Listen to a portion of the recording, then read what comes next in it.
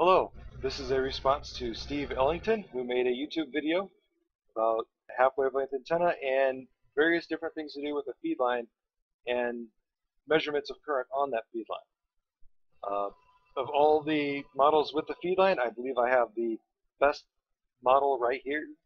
Uh, it's basically the feed line goes, this, this layout is based on what he said he had, which is a 10 meter antenna, half wavelength, and fed, 8 feet above the ground, uh, and then there was a feed line going out and then down. Uh, that is the what he showed. So that is what I'm using here. Uh, this is the best case scenario. Uh, his his antenna was real close to this. I did adjust the feed line length slightly to get to this point. Um, I made two points in my response, which is feed line length can can change the amount of current actually on the feed line. Um, in case that we're talking common mode currents. Uh, that's what I'm going to cover first. The feed point is the circle, which marks the end of the antenna itself. Anything to the left of the circle is feed line. Anything to the right of the circle is the antenna. Uh, again, best case scenario, I'm getting 1010 milliamps on the antenna and 310 milliamps on the feed line. All these numbers are taken from the data files of the software. That's how I could go ahead and get such accurate results. I actually went in and looked at the data files. Um, so this is the baseline for the for the feed line. It's the best result that I could get. Now I'm going to show you the worst results.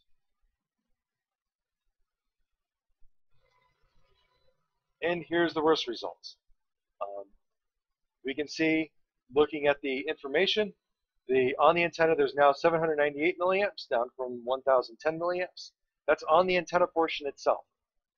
Uh, so there's less current flowing here because it's being is actually flowing over here on the feed line. The feed line is up from 310 milliamps to 479 milliamp peak. Uh, and we can see whereas before with this color chart on the side, where everything was from dark blue to light blue, we actually get all the way up into the orange, where we're starting to get orange in the middle, is for peak current. So instead of lim being limited down here, we're going way up here on this chart. Again, best case scenario compared to worst, worst case scenario. So how long your feed line is can make a difference on on the, the, the amount of common mode currents that you have. Uh, the other point that I was talking about is the choke. Uh, he put his choke at the feed point, and I made the statement something along the lines of, that is not the place, best place for a choke with this antenna. That is what I'm going to show next. Um, this is the base model that I used for all of the models after this. I'm going to show you with a choke at the feed point next.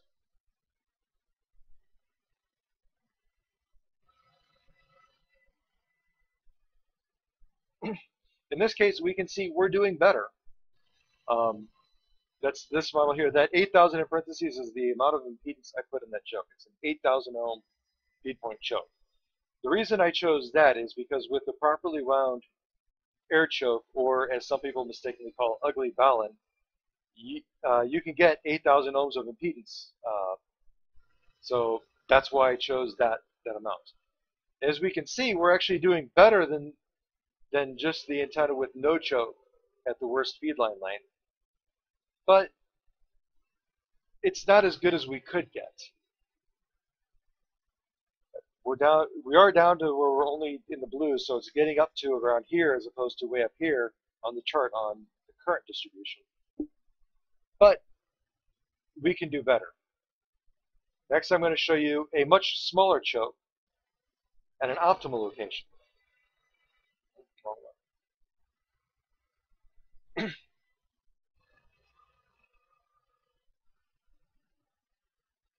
okay here we see the choke is in a different location. And over here, as we can see, I used a much smaller choke, 250 ohms of impedance. Uh, this is, with this choke, you would have to use 32 of these to equal the same impedance of the choke that we used at the feed point before. I'm doing this to make a point.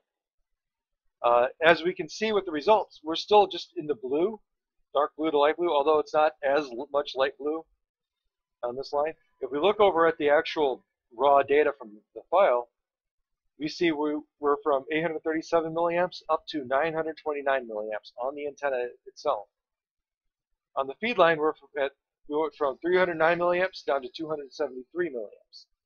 So a much smaller choke at a much better location is actually giving us better results. Now, this last one is a more likely scenario for someone who's actually using an air choke. It's simply this model with the with the 8,000 ohm choke as used above. now, as we can see with this, we're actually getting the best results of any of the models anywhere. Um, quarter wavelength away. And one thing you'll note to the left of the choke is we never really get any significant current forming. All the current on this model is between the choke and the feed point. On the feed line of this model is between the choke and the feed point. Uh, we never get above 70 milliamps of current to the left of the choke. And as we can see, it, see, it stays dark blue all the way through, showing 70 milliamps or less. All the current on the choke is limited to this small portion right here. So, and while it's limited to this small portion, it's also lower peak than it is with any other setup. Plus, this model has the bonus of being the highest peak on the antenna itself. So, with this, it shows the best location is not necessarily the feed point. With this antenna design, you're much better putting the, the, the choke about a quarter wavelength away from the feed point. Uh, that's pretty much all I had to say on this this uh, matter. Uh, if you have any questions, please ask.